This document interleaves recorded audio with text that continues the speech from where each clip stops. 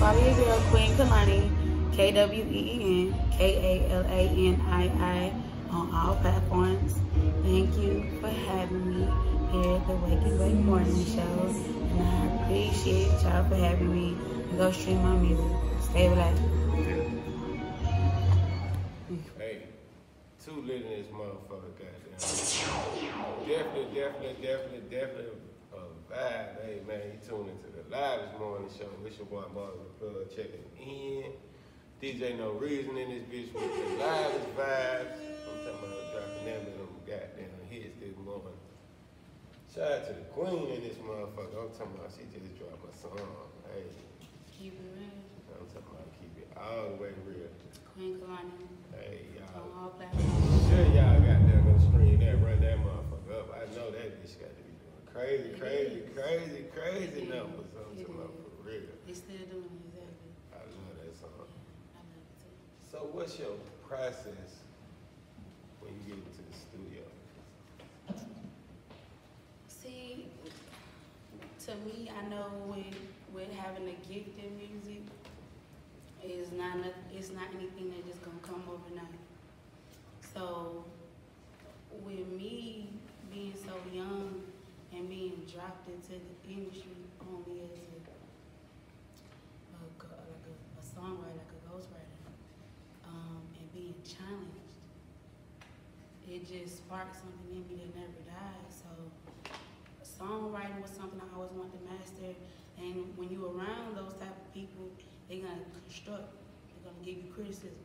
They're gonna give you criticism, criticism, criticism, criticism, criticism.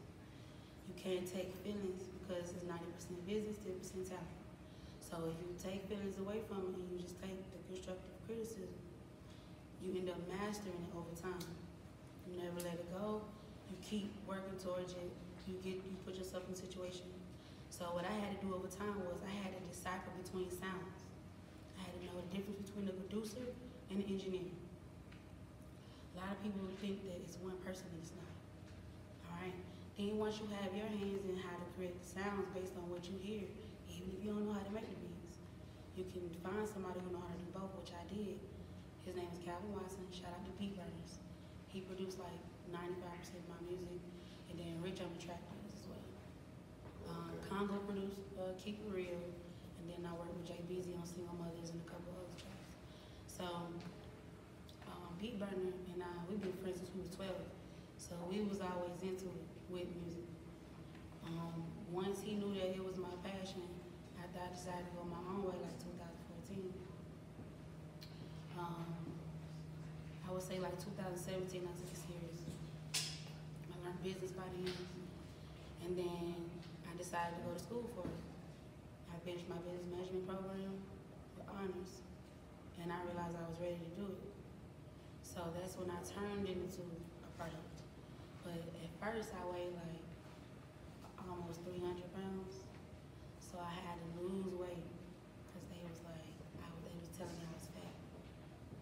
That's why they didn't accept my music at the labels because I was fat. So I lost 85 pounds. I, I could pretty much tell a person how to do that without no injections, no pills, none of that, just state of mind and consistency. Same thing with any business or anything that you're doing. And you could do that. So I did that, and then I understood that image came with it. So now I'm at the point where I got to transition from my tomboy mindset to more of a sensual mindset. I'm cool with that. That's why I took the gold teeth out. Because at first, Kween Kalanii had gold teeth all the time. Because I used to make gold teeth at Terra Discount Mall when it was on Terra Boulevard. So it was just something that I didn't think was wrong with it. Oh, well, I didn't think nothing was wrong with it. I still don't think that. I mean, I'ma still put it in now and then, but as a businesswoman, they don't wanna be dealing with anything dealing with finance with nobody with gold teeth, afro, so I did the braids for a while. I'm gonna transition to something else but right now, that's just what I wanna do, cause I want to lock my hair up. You know, so I'm still transitioning more into what they want, but as I'm doing that, my brain is getting bigger too. You know what I'm saying? So I'm understanding that sometimes you can't be selfish with this too. Yeah. When it come with being marketable. Yeah, You absolutely. know, especially if you don't want to go to that way. Exactly. It depends on what lane you trying to go. That's why I ask a lot of uh, artists: uh, Are you trying to stay independent, or are you trying are you trying to go mainstream? Because you have to go different routes to take different approaches, and then you have to understand business. That's why I tell a lot of artists too, hey, take some time out of your day to not just focus on making the music, but understanding the music. Go and do some business research. Don't just all the time focus on making the music, because you gotta know what to do with it, and then you gotta understand what's the process of, of what to do with it. Mhm. And who, yeah, Yeah. you don't wanna be Shout lost, and you wanna, you wanna be knowledgeable about what you get into. Exactly, exactly. And then you can take your time and transition as you learn, but investing in yourself is gonna be the main thing. So, you know, people just gotta understand it's a business. The more you put into it, the more you're gonna get up out of it. And believe it or not, um, I myself, I'm, I'm transitioning. A lot of beginners will say, "Oh wow, you know, you, you got a million, almost a million streams in, in ten months. Like, with how you, with no label, like, I'm my own label, but after this point, then what? It's like levels to that shit. You know what I'm saying? So I could teach you, right? But it's still gonna take you to have that drive to begin with to keep going. You know what I'm saying? That's with any business. Yeah. People do it in barbershops, people do it in, in restaurants, people do it in hair and nail salons. It's all about a mindset and a drive. It depends on what you put your mind to. So everything, it's, en- it's enough money to go around for everybody to make money at your time that you're supposed to make it. Just make sure that you don't put yourself in a, in a, in a position where when you get there, you finally lose it all because of the shit you did to get there. So that's why they say chess is important because it's not even about anything, it's about strategy. Mm-hmm. And then once you study a market, you gotta study an algorithm. That's how I knew my name was being so, being spelled wrong when they were searching me. My name is Kween Kalanii, spelled K W E E N K L A N I I. A lot of people was getting the first part right, but they were spelling it K A L I N I. They heard two I's. So now a whole nother algorithm is built for me to still get to my name in the search engine when you search for my music based on an algorithm of people's searches. Yeah. So it's like you gotta study all the way down to your marketing strategy when you are being an artist. It's not about everything else. A lot of people go into image. Oh, I think it's gonna be how I look. No, because a lot of people don't even know who Kween Kalanii is. They heard me somewhere, but they don't know who I am. You know what I'm saying? Yeah. And over time, you will, you will build that market. So it's just about staying dedicated. My process, is- I would be just staying dedicated, find a way to always invest in it, always network, build good relationships, keep those relationships. A lot of people somehow get lost in the groove. You gotta keep who you started with, and you gotta build them up to somehow be a, a part of the stream of money flow. They don't want, a lot of your friends might not believe in what you're doing, right? Yeah. So put them apart part of the money flow. A lot of people would invest in my insurance brokerage though. You see what I'm saying? Yeah. Only because to them that's more realistic. Still find a way to incorporate your team your flow. So when you take off, they take off too. That make a lot of sense. That make a lot of sense. With everything still being legit. You see what I'm saying? That's what's up. That's what's up. So, what you like doing on your outside spare time? I like spending time with my kids. Um, I go to the gym. Um, I try to go seek knowledge. Um, most of the time, knowledge now is virtual. Yeah. Besides books, besides books. Um, I just I keep a lot of time to myself.